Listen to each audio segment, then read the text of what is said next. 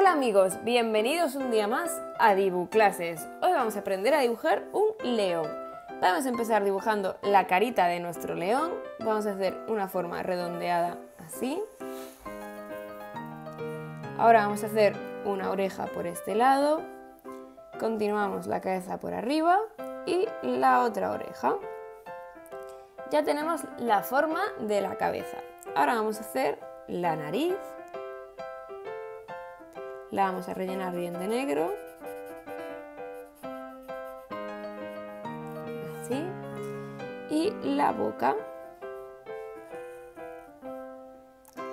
Vamos a añadirle los bigotes. Vamos a hacer aquí como una especie de peñita.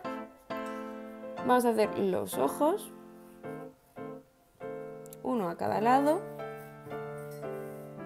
Ya tenemos los ojos y ahora vamos a hacer la melena de este león. Vamos a hacer el pelo bien grande,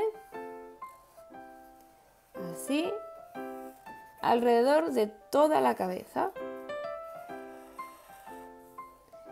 Y repetimos lo mismo por el otro lado.